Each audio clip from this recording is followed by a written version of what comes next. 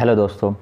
दोस्तों, ये शारीरिक व्यायाम एवं प्रशिक्षण का पेशीय तंत्र पर प्रभाव का दोस्तों दूसरा पार्ट है। इससे पहले जो मैंने पार्ट बनाया था, अगर आपने अभी तक नहीं देखा तो उस पार्ट को जाकर देख लीजिए, क्योंकि उस पार्ट्स के अंदर मैंने आपको बताया था कि मसल्स क्या है टाइप ऑफ़ मसल्स क्या क्या होती है और टाइप ऑफ़ कॉन्ट्रैक्शन यानी टाइप ऑफ़ संकोचन क्या होता है। जब हम कोई भी शारीरिक व्यायाम करते हैं तो एक कॉन्ट्रैक्शन हमारे मसल्स के अंदर आता है। उसको भी दोस्तों पढ़ना काफ़ी ज़रूरी है, क्योंकि ये एक काफ़ी इंपॉर्टेंट लॉन्ग क्वेश्चन होता है दोस्तों, मांसपेशी तंत्र पर प्रभाव। तो आज की इस वीडियो में मैं बात करूँगा कि मांसपेशी तंत्र पर क्या प्रभाव पड़ता है जब हम एक्सरसाइज करते हैं, अतिरिक्त वसा के ऊपर नियंत्रण कैसे लाया जाए और मांसपेशी रेसे यानी हमारी बॉडी के अंदर मसल्स फाइबर कौन कौन से होते हैं और जब हम कोई भी एक्सरसाइज करते हैं तो उस पर उसका क्या प्रभाव पड़ता है। उसके अलावा दोस्तों, आज की इस वीडियो में कंप्लीट इसको करा दूँगा। तो सबसे पहले हम बात करते हैं दोस्तों हमारा पहला हेडिंग की कि मांसपेशी तंत्र पर इसका क्या प्रभाव पड़ता है।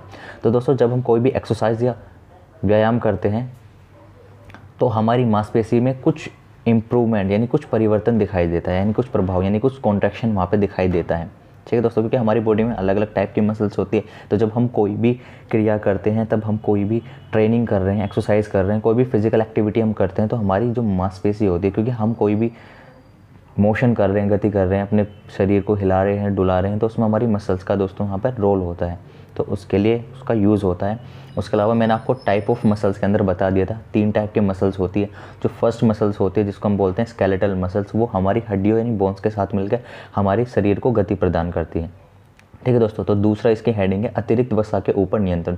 जब हम एक्सरसाइज कर रहे हैं, जब हम ट्रेनिंग कर रहे हैं तो क्या होता है, हमारी बॉडी के अंदर जो फैट होता है, जो एक्स्ट्रा फैट होता है, उसको दोस्तों बर्न कर देते हैं, उसको हटा देते हैं। और उसकी वजह से काफ़ी सारी बीमारी से हमारे शरीर को बचाव हो जाता है। तो उसका यही रोल है दोस्तों। अगर हम एक्सरसाइज करते हैं तो हमारी मांसपेशी में अतिरिक्त फैट जमा नहीं होता है। तीसरा, अब हम हेडिंग के बारे में बात करेंगे कि मसल्स फाइबर क्या होते हैं, यानी मांसपेशी रेसे दोस्तों, हमारी बॉडी के अंदर दो टाइप के मसल्स फाइबर होते हैं, यानी मांसपेशी रेसे होते हैं, और दोनों के अंदर अलग अलग टाइप के गुण होते हैं दोस्तों। मसल फाइबर दोस्तों क्या होती है? हमारी मांसपेशी के छोटे छोटे रेसे होते हैं दोस्तों, जो दर्शाते हैं कि हमारी बॉडी के अंदर कितनी कार्य क्षमता है, कितनी गति है, हमारे अंदर कितनी पावर है, वो सभी हमारे मसल्स फाइबर के द्वारा ही हम जान पाते हैं। तो सबसे पहले हम बात करते हैं वाइट मसल्स फाइबर के बारे में। दोस्तों, ये जो मांसपेशी होती है, ये सफ़ेद कलर की होती है, यानी मांसपेशी के जो रेसे होते हैं सफ़ेद रंग के होते हैं। ये अनुवांशिक गुण के कारण भी हो सकते हैं और हमारी बॉडी की संरचना क्रिया के, के कारण भी हो सकते हैं। इनके दोस्तों इनके अंदर क्या खासियत होती है उसके बारे में आपको बताता हूँ। ये बहुत ही जल्दी संकुचित हो जाते हैं यानी बहुत जल्दी कॉन्ट्रैक्शन की अवस्था में आ जाते हैं। यानी कि हम वार्म अप करने के बाद तुरंत ही ये इतनी जल्दी एक्टिव हो जाते हैं हीट हो जाते हैं कि ये अनोक्सी प्रकार की क्रियाओं में दोस्तों उपयोग किया जाता है। अनोक्सी मतलब जो ऑक्सीजन के बिना क्रिया की जाती है। जैसे अगर मैं बात करूँ hundred metre running two hundred metre running या बहुत सारी ऐसी क्रियाएँ होती है जिसके अंदर क्या होता है कि हम ऑक्सीजन की उपस्थिति, यानी ऑक्सीजन को ग्रहण नहीं करते और हम ज़्यादा से ज़्यादा मात्रा में अपनी, हमारी मसल्स को कॉन्ट्रेक्शन प्रदान करते हैं। स्पीड प्रदान करते हैं। इनके अंदर दोस्तों क्या होता है? इनके अंदर स्ट्रेंथ बहुत ज़्यादा मात्रा में होती है। इनके अंदर फ्लैक्सिबिलिटी बहुत मात्रा में होती है। और इनके अंदर दोस्तों सहनशीलता यानी इंडोरेंस भी बहुत ज़्यादा मात्रा में देखने को मिलती है। वहीं दूसरी बात करते हैं हम रेड मसल्स फाइबर के बारे में। तो दोस्तों रेड मसल्स फाइबर क्या होते हैं? ये लाल रंग के मांसपेशी रेसे होते हैं। इनमें दोस्तों मायोफोबिन पाया जाता है।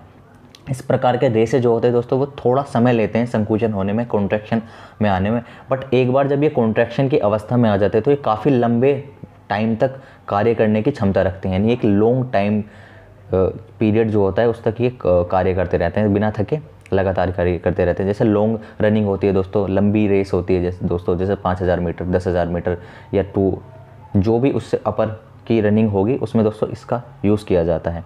यानी इस टाइप के जो मसल फाइबर वाले जो एथलीट होते हैं, उनको वहाँ पर ज़्यादा ज़्यादा अच्छा वो परफॉर्मेंस कर पाते हैं। ठीक है दोस्तों इस प्रकार की जो मांसपेशी रेस है, उसमें ऑक्सी प्रकार की खेल क्रियाओं में सम्मिलित होता है। ऑक्सी मतलब जो ऑक्सीजन की क्रिया में किए जाते हैं, जैसे मैंने आपको लंबी दूरी की दौड़े बताई, उसमें इसका प्रयोग किया जाता है।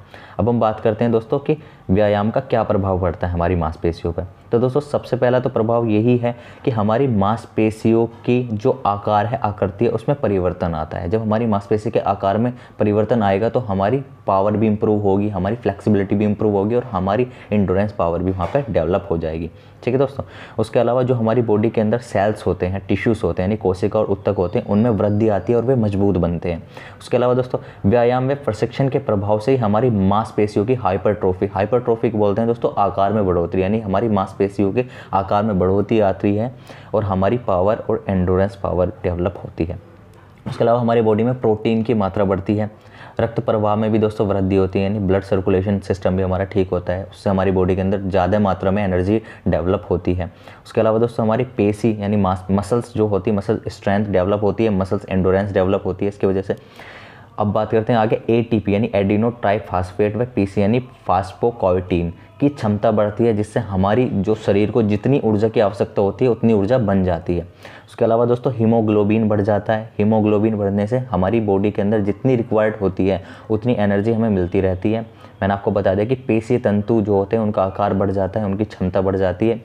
उसके अलावा कार्बोहाइड्रेट व वसाओं का ऑक्सीकरण बढ़ जाता है। ये दोस्तों जो नोट्स है, ये आपको डिस्क्रिप्शन में मिल जाएँगे। इनको आप जाके देख लेना मेरी वेबसाइट पर, काफ़ी ईजी आपको मिल जाएँगे। और आज हमने ये टॉपिक क्लियर कर लिया।